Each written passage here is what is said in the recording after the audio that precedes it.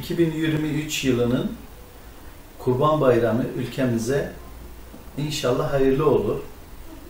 Ee, Demokratik Sol Parti'nin Türkiye Büyük Millet Meclisi'nin çatısının altına girmesinde tabii ki 2023 yılının bize daha hayırlı, daha uğurlu bir yıl olduğuna inanıyorum. Tüm ülkemizin e, Kurban Bayramı'nı en içte dileklerimle kutluyorum. Demokratik Sol Parti Osman Gazi İlçe Başkanı Mehmet Seskır.